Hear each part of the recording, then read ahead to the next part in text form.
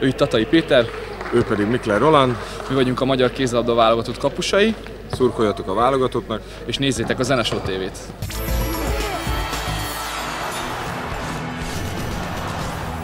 Bennem az utolsó kapott gólért sajnos. Olyan érzésem van, hogy, hogy nagyon rossz. De remélem, hogy benne az öltözőben már srácokból merítek, és nekem is jobb kedvem lesz. Hát én azt gondolom, hogy ennek a mérkőzésnek így kell történnie.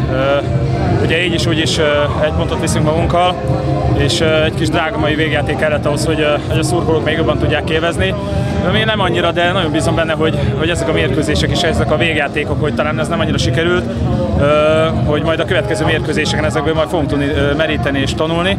Úgyhogy ez csak a hasznunkra fog válni mindenképpen, és gratulálok Roninak, mert ez mindenképpen kellett már, hogy, hogy ilyen bravúrokkal ahhoz, hogy tovább tudjunk jutni, és nagyon örülök neki, hogy ez, ez ma a leg, egyik legfontosabb mérkőzésen sikerült.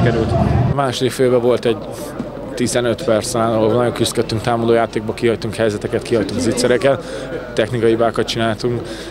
Nagyon nehéz volt, de, a küzdeni akarás, a, motiváció, az, hogy egy egész csapat harcolt, küzdött, az át, átsegítette a csapatot, és mindig volt egy-egy, egy-egy bravúros teljesítmény, ami, amivel gólt tudtunk lenni, kivédekeztük, úgyhogy ez meghozta az eredményét a végén. Az volt a szerencsénk a, a mérkőzés, hogy mindig volt valaki, aki hozzá tudott tenni egy picit, és át tudott lendíteni, vagy át tudta lendíteni a csapatot az ilyen esetleges holdpontokon most, most már kezdek én is örülni, azért boldog vagyok én is nagyon.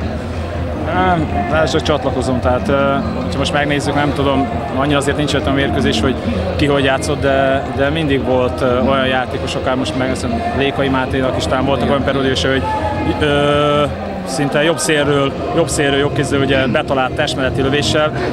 Mindig volt egy-egy olyan játékos, aki a hátára vette a csapatot, és én azt gondolom, hogy ennek a csapatnak ez az arca, és ezt az arcot fogjuk bízom benne tovább is mutatni. Szerencsére voltak lövések, amik bejöttek, e-, ennyit tudtam hozzátenni a csapathoz, már ennyire volt elég, de remélem Ausztriában azért megszerezzük ma az első győzelmünket. Fejben nagyon fölkészültünk tudatos játékban, egy-két feladatot nem tudtunk még megoldani, balátlövő, lövőkézre való, talajról való lövését, de voltak kiváló teljesítményeink a védelemben összesen.